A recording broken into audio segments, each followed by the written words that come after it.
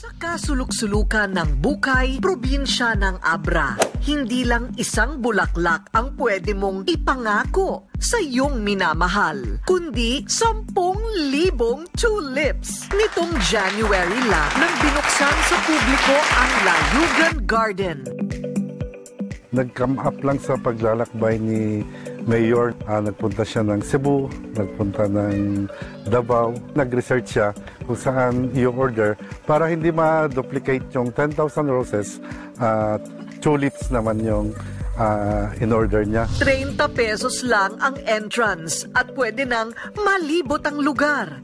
Hanapin ang perfect spot, tanaw ang bulubundukin ng Cordillera at Abra River. Mountainous kasi ang background ng Layugan Garden.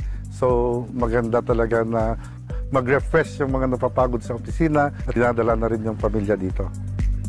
Ang DJ at ka-rated K natin na si Jessica, makiki third wheel sa mga nagde-date dito. Hello, Rated K! So, andito tayo ngayon sa Abra at ating iikutin yung pinag-usapan 10,000 tulips. Tara! Mapapako ang iyong paningin sa makukulay na tulip sa araw na lalo pang tumitingkad pagdating ng gabi. So ngayon, iikot tayo at hahanap tayo ng mga turista na talagang dumayo pa dito sa 10,000 tourists.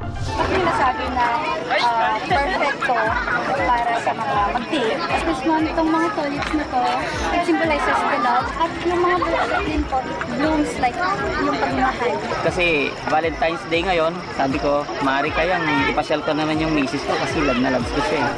Sa ganda ng lugar at dahil walang kadate, hindi mapigilan ni Jessica ang magpaka-hopeless romantic. Nako, hindi papahuli ang iyong Diyosa para mag-selfie at i-post sa IG at FB na may hashtag pang-rated K yan.